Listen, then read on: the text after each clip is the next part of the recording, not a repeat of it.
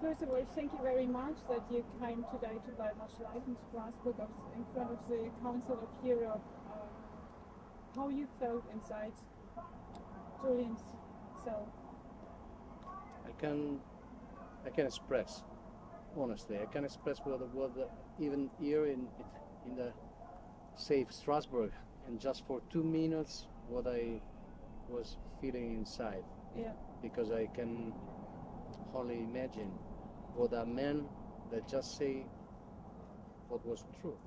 He just said what was true, but he's passing right now, alone, there, alone in a small, and it's so, it's totally unjust. It totally, there's something we got to do, and I, I, I can't believe that so many countries that are s- that are so great tradition in justice now are keeping him in, in jail.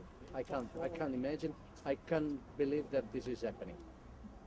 So what um, you will do now um, in your role as an MP to make more people aware of?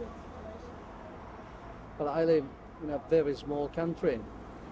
But you know, small country can can say can can let their voice to be here to be heard, and uh, I do my best. We already have done something in my parliament. Yeah.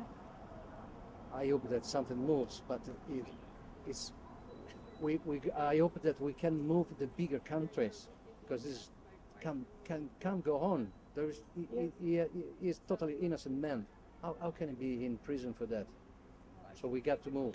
We got to, to, to say the big countries to move, and we got to say England, United States to stop this uh, persecution. Thank you very much for your support here today. Thank you. Thank you very much. Thank you.